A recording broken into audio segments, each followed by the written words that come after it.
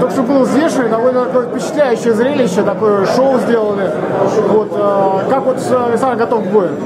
Да готов на все сто. Вес показал, вес взял, сейчас покушает, водички попьет, завтра будет побеждать.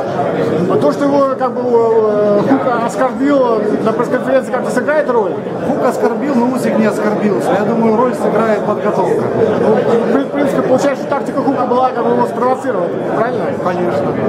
И, ну, он на это, можно сказать, не повелся. И... Да нет, он сюда за другим приехал. У вас такая мощная группа поддержки, откуда столько людей приехало? С Украины, конечно. С разных регионов, я так понимаю. Конечно, со всей Украины. То есть получается, то, что обещали, что ползала будет украинским, вполне реально. Так и думаю. Окей, спасибо, удачи. Спасибо.